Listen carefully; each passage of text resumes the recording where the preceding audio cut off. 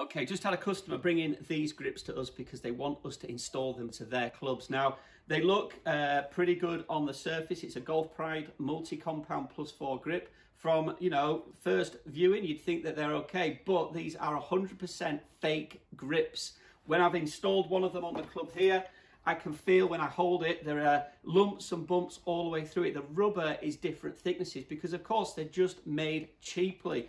I don't know if you can see on the camera, but the profile here, there's a big flat section on the grip that shouldn't be there. It should be round. And as I look at all the others that he sent me, they're, uh, they're all imperfect as you go down. The, uh, the size of the Golf Pride writing is, isn't consistent, but you know, they've got the sticker on, they look genuine. So this customer thinks he's got a bargain online, but by the time he's paid us to install them, it would have been the same cost if he'd have bought direct from us, who we buy direct from Golf Pride and Lamkin to make sure that you're getting a genuine grip that's going to be properly consistent, proper quality control throughout. So just beware, folks. It might look like a bargain online, but you don't really know what you're getting, and you need to beware of the fakes.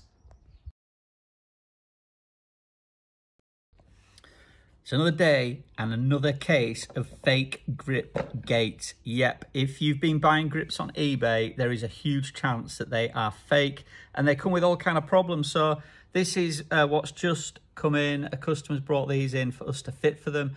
And you probably can't tell here, but the cord here is really hard and it's it's just not the same as it would be on a normal grip. I've been through uh, quite a few of the different ones here. Now, they look genuine. You know, they've got the barcode wrapper on and it all says like Golf Pride on it. All looks pretty good. But on going through the ones in this packet, there's different consistencies of diameter of the, uh, of the inside of the grip. They're just poorly finished. You're not going to get the wear out of them. They're not going to go on and be the right weight consistency. So you're just completely wasting your money. So if you've been on eBay and you've got a packet that comes in a post that looks like this, beware. But the easiest thing to do, if you want your grips doing, go and see a professional, a proper retailer, someone who's going to be getting grips from a reputable source direct from the suppliers like Lamkin and Golf Pride. So you're not going to run the risk of getting fake grips. It's kind of pointless re-gripping your clubs with them, to be honest. So there you go. That's my thought for the day. Just beware of the bargains online and go and support your local club pro who's going to have genuine grips to fit your clubs.